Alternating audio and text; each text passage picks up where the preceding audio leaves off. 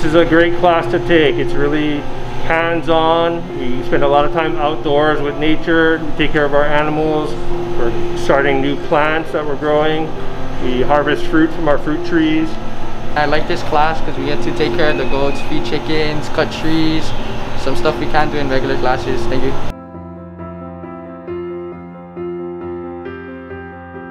Uh, you should really do this class because you get to do activities, you get to play with goats, and it's really chill overall.